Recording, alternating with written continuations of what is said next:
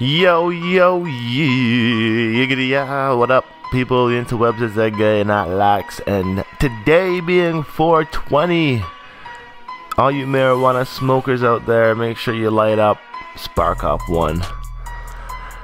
And remember that uh, marijuana is for medicine, and on this day today is also the same day Hitler was born, so let's not celebrate that as we celebrate the life of the herbs. But with that being said, today's video is coming from the likelihoods of Fredo Santana, hip hop artist from Chicago, Illinois. Make sure you guys stay tuned, stay subscribed. This is the best in daily dreadlock content. Getting right into this video here, we're gonna be looking at Fredo Santana, highly requested, highly scary looking motherfucker. Derrick Coleman, better known as Fredo Santana, American rapper from Chicago, born July 4th, 1990, age 24. See, all this gangster rap I'm not a fan of. So obviously, I don't know what kind of music this guy makes. Well, I mean, I have an idea of what he makes in terms of music, but it's not anything that's worth mentioning by my standards. But he does have a pretty interesting set of locks. Let's take a look at these freeforms.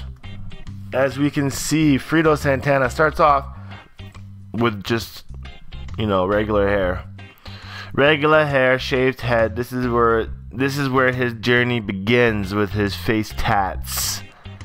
But as his hair starts to grow, we see the free forms start to go on. And these free forms are are are cool, I guess. They're pretty cool looking, you know. Freeforming your locks is actually oh yeah, you're cool, buddy. Man, it's so stupid. Why do like these rappers just promote violence and guns and and it makes kids want to grow up with uh, this kind of attitude. Honestly, it's ridiculous on how uh, the image imagery in hip hop leads to sell out. Looking at some more pictures. Um, come on, where are his dreads? There they are. There they are. Troll hair. It's like trolls. I love it. But his hair is like apparently pretty freeform. Um, I can only find some more pictures of him on here. There's not too many. Let's go to his Instagram page as usual. And let's see what's really going here. Alright, one hour ago posted. Now you can see the shape of his locks actually starting to form. Compared to the first picture when his locks were just kind of like starting to mat together here we can actually see some definition and some shape happening. And it's interesting to see here how the front locks turned up because in the other picture they were so thick and like on my top of my afro head it, they're the same way. And it doesn't look like they would lock together but looking at this photo I can see kind of how they might make their shape. Another shot of him from the side so he's got the baby locks almost. Well, I mean, they're they're probably about five inches long, so they're not so much baby locks anymore. But they still definitely have the mind of their own, standing up on end, uh, any which direction. And that's the part I love about baby locks is that they just kind of do what they gotta do in order to get formed, and you know, you don't really have much control in styling them. They just, they just do what they want. Uh, here's the next picture. And obviously, this guy does not style his hair. He just kind of rocks it. He doesn't even throw it back in a half ponytail or nothing.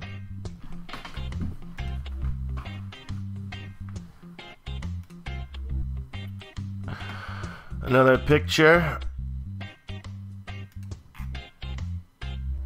Uh, here is a drawing. Looks fucking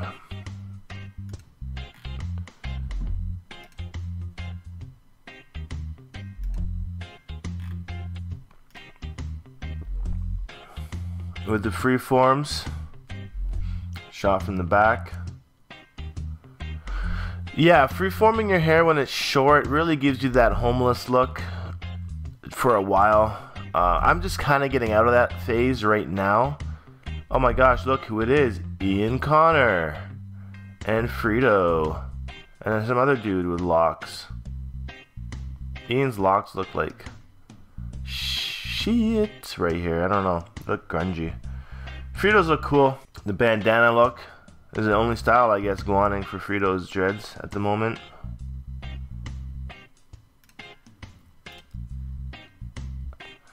Taking some, hitting some dabs.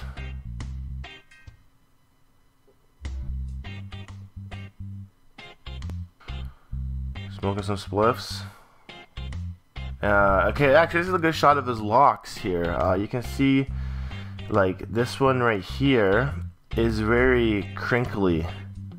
And it's probably not even that formed yet. Uh, and the other ones, like, they're still very, like, thick and fluffy. And I noticed this about free-forming, like, they're, they get, they stay fluffier a lot longer uh, they take longer to mature opposed to somebody interlocking their hair which is like almost instant maturing because it's so tight.